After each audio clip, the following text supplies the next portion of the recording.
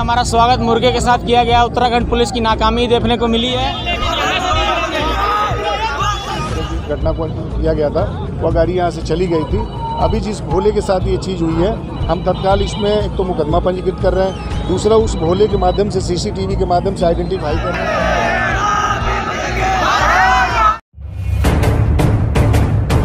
एक बड़ी खबर उत्तराखंड के उधम सिंह नगर से आ रही जहाँ के जसपुर में भोले के भक्तों ने जाम लगा दिया तस्वीरें आप देख रहे हैं। भोले के भक्तों पर कुछ अराजक तत्वों ने यहाँ गंदगी फेंक दी थी। इससे वहाँ मौजूद कावड़िए भड़क गए। अराजक तत्वों की हरकत ने माहौल खराब कर दिया। यहाँ देखते ही देखते सारे कावड़िए जमा हो गए। कावड़ियों ने नादेही हाईवे को जाम कर दिया। दरअसल ये तस्वीरें उधम सिंह नगर के नादेही हाईवे की हैं, जिसे जाम करते हुए प्रोटेस्ट किया गया। वहीं पुलिस प्रशासन के खिलाफ भी नारेबाजी देखने को मिली। काफ़ी देर तक नादेही हाईवे जाम रहा। हाईवे जाम होने से जसपुर के लोगों को भारी परेशानियों का सामना करना पड़ा।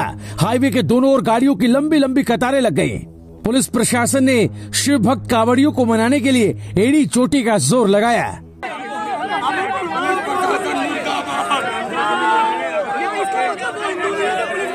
फ़िलहाल शिव भक्त कावड़िया आरोपी की गिरफ्तारी पर अड़े हुए हैं। कांवड़िए इतने गुस्से में थे कि वो पुलिस प्रशासन की बात सुनने को ही तैयार नहीं थे। वहीं सीओ काशीपुर वंदना वर्मा ने कांवड़ियों को बहुत समझाया। अपर पुलिस अधीक्षक काशीपुर अभय सिंह को भी कांवड़ियों को समझाने में पसीने छूट गए।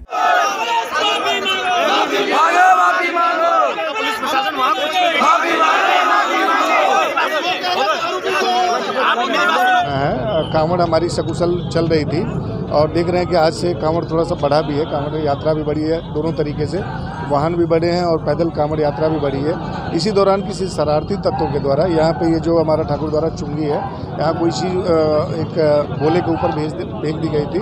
जिसपे उनके द्वारा तत्काल यहाँ मौके पे पुलिस को सूचना दी गई थी और वो यहाँ से जो गाड़ी थी, जिस गाड़ी से इस तरह की घटना को किया गया था, वह गाड़ी यहाँ से चली गई थी।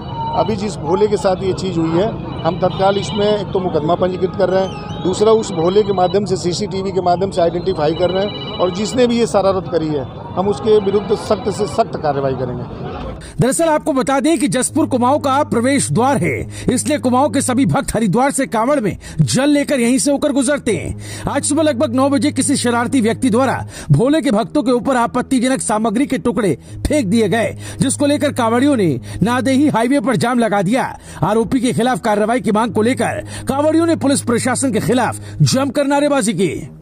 कांवड़ियों ने आरोप लगाया, कहा कि जैसे ही वो उत्तराखंड में पहुँचे तो उनका स्वागत इस तरह से किया गया। ये निंदनीय है।